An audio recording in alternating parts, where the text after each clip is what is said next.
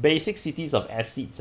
Okay, the basicities of acid. Okay, now this is actually another classifications of acid, but normally, okay, we do not classify into this way. But you just need to know that, sir. Okay, acid can also be classified through this uh, basicity. Okay, now anyway, what what does it mean by the basicity? Okay, so basicities of an acid is the number of hydrogen ions which can be produced by one molecule of the acid.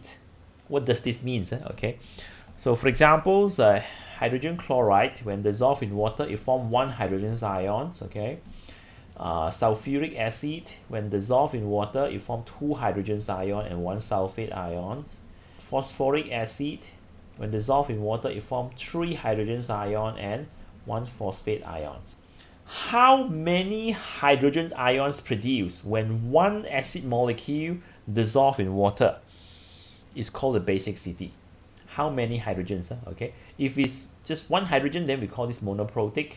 If uh, two hydrogen produced then it's uh, diprotic. And if three hydrogen ions produced then it's triprotic. So basicity depends on how many hydrogen ions produced when uh, this acid dissolved in water.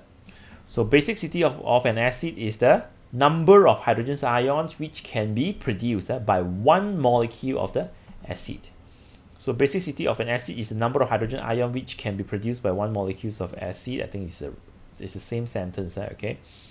Uh, for example, uh, monoprotic acid. Monoprotic acid is the acid where it produces one hydrogen ions uh, from one acid molecule. For example, uh, hydrogen, uh, hydrochloric acid, okay, hydrochloric acid, nitric acid, and uh, ethanoic acid. Okay, this one is ethanoic acid. This is called ethanoic acid. Or let me write here. This is called ethanoic acid.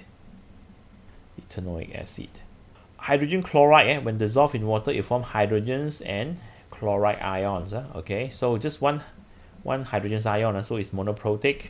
Nitric acid is also the same. Okay, it will form uh, uh, one hydrogen ion and one nitrate ions. Okay, so it's a monoprotic. Eh? Okay, the third one, this is ethanoic acid. Eh? Ethanoic acid, it has four hydrogen ions. Okay, three here and one here, four hydrogen ions. But when this acid dissolve in water, it will only form one hydrogen ions. Now this three hydrogen uh, does not dissociate from the molecule. Okay, it's still part of the molecule. Okay, so only one hydrogen ion produced. Only this one, this one, uh, dissociate from the molecule and form one hydrogen ion. Since this one hydrogen ion produced and therefore this is called monoprotic acid. So monoprotic acid is the acid that produces only one hydrogen ions uh, when uh, the molecules of the acid dissolve in water. So these are a few examples of diprotic. Uh, sulfuric acid, okay, sulfuric acid. Uh, uh, it will form two hydrogen ion and one sulfate ions. Uh, okay. This one, uh, H2SO3, this is SO4, uh, this is SO3, uh, SO3.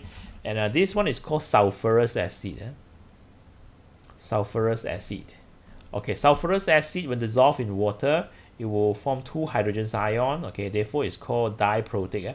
Okay, and at the same time, it will produce uh, this SO3 2 negative. Now this is called sulfite. Eh? Sulfite. SO4 2 negative. This is sulfate. Sulfate. Eh? So this is sulfate, this is sulfite. SO4 2 negative, SO3 2 negative. And since uh, it produces two hydrogen ions, uh, so it's a diprotic. Uh, this one is a carbonic acid. Okay, carbonic acids. When dissolved in water, it will form two hydrogen ion and one carbonate ion.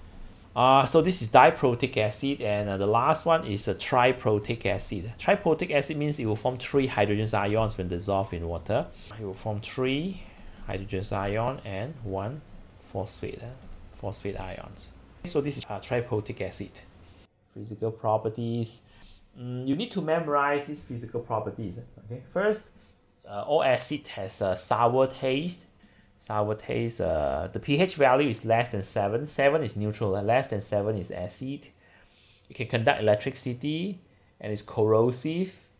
So this is the physical properties of acid. Eh? and you need to remember this uh, because in exam they may give you uh, usually it's objective question uh, they give you the few a few properties uh, okay a few properties and then they ask you which of the following are the properties of acid and then you need to know uh, uh sour taste pH less than 7 can conduct electricity and corrosive